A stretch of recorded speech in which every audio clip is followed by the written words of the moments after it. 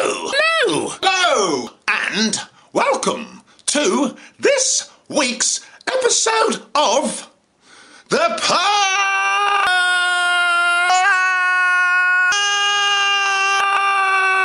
Innocent Channel. And what it's like, like, like to really be an actor in great, great, great, great, Britain. Well, well, well. What's going on next week? Not a lot. Uh, funny enough, only one audition coming up, and that's on Thursday, and that's for a, a commercial. Isn't it funny how things go? One week it's busy, the next week it's ah ah. But right now we're just plodding along. All we can do, plod along, plod along, plod, plod, plod, plod. That's all we can do.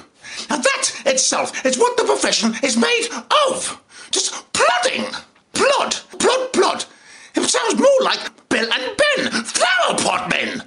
Plod, plod, plod. Except they said flob, flob, flob.